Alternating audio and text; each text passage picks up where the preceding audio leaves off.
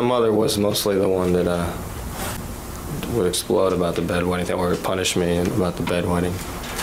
Sometimes she would rub my face in the sheets. She'd refuse to change the sheets. I'd sleep on the floor.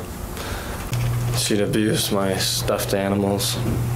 I remember one time she just threw them all out the window, and I came home from school and they were all on the the grassy area in front of the house, wet from the mildew, and one of the dogs had eaten up uh, one of them.